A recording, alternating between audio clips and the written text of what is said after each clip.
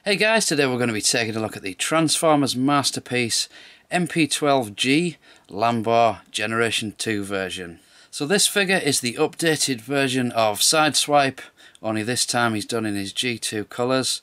Features new weapons, a new face sculpt, and obviously this is the first time we've seen the black Lamborghini. So far we've only seen this as a Japanese Takara Tomy figure, but maybe one day we'll see it as a Hasbro release. So the box for this is pretty much the same as all the Masterpiece cars. And this is the fourth official use of this mould. It was done first as Lambor, then as Red Alert, then we got Tiger Tracks, and now we're getting G2 Lambor. For the back of the box, they've actually changed this up a little from the others. We don't see how he fits into Optimus Prime's trailer like we did on all the others. Instead, we see the new features, a little picture from a G2 comic, the usual contents and stickers, and it also shows this rather cool looking picture of what it'll look like if you put all the G2 stickers on. He also comes with the usual Japanese instruction sheet. We get a nice little trading card with MP12G on it. And on the back, there's his tech specs. And this is his sticker sheet, so you can see there all the G2 style stickers. We've got G2 logos, and we've got Generation 1 logos if you'd rather use those. Unlike the previous versions of this, we get this funny looking gun Looks a bit like a TV camera. We also get this very chunky looking machine gun. We get this broadsword.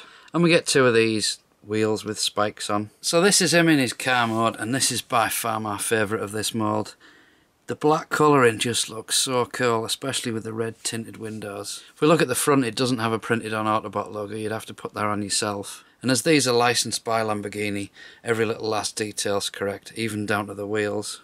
The back end is a little bit chunky, but it does feature all the logos. I just love how this looks. Something about the black colouring is just really, really stylish. The new G2 Lambor versus the previous uses of this mould. Now every single one of these, barring this G2 one, is a knockoff. Lambor, Red Alert and Tiger Tracks have all officially been released by Takara, but the gold one you see there, that's a recent knockoff MP12J. So like all the other uses of this mould, you can plug these guns into the top of it if you want to.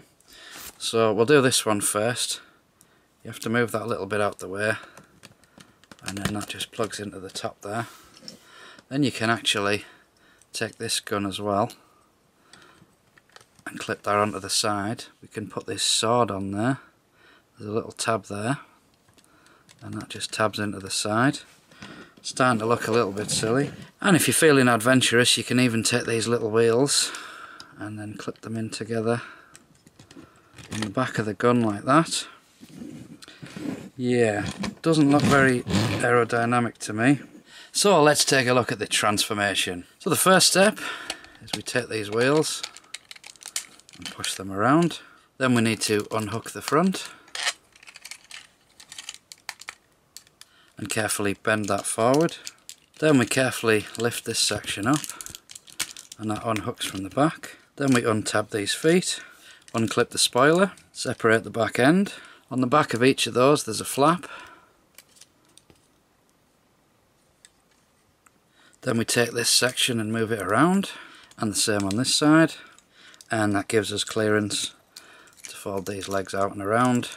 Then we move this bit round and on the other side these leg sections then clip in under there and we're making sure that that little red section is flush with that and then you can bring that bit forward. And again we just close this section off. And make sure it's clipped in there. And bring that bit forward. To finish the feet we fold that up. And bring out the heel spare, tuck the spoiler in at the back. And on this side foot forward, spare out. And spoiler on the back. Then we can bring this little section forward and straighten out the legs. Next we need to make sure that that section is pointing straight up and we unfold it from there spin it around and then bring that all down. Straighten his arm out and then if we open that little door there push on the tab out pops his fist. So same on this side that goes up that comes down and around and then we just flip out the fist and close the door. For this back section we need to fold that all the way around in on itself and then back like that and same on this side all the way around and back like that. Next we need to fold this section down and then push the torso forward and that allows us to use that little clip to tuck that in there. Then for his head we need to flip that bit up and push it together and finally we collapse the back section.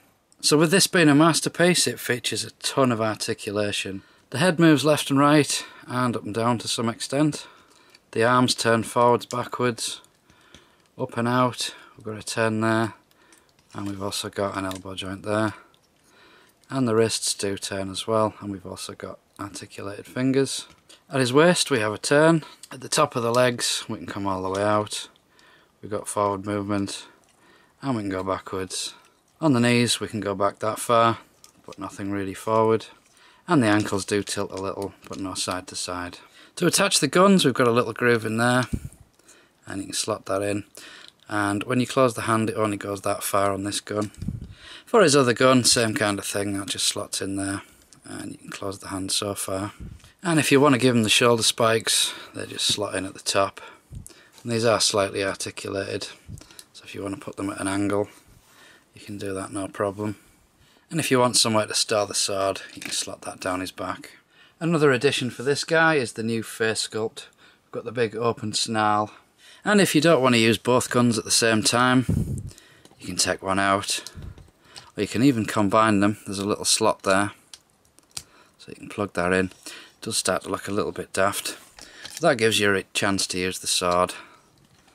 Uh, no tabs on that one, it just slots in his hand. So this being the fourth official version of this figure, I was sold from the black colouring. But it's great to see that we've got some new weapons, a sword, some new armour and a brand new head sculpt.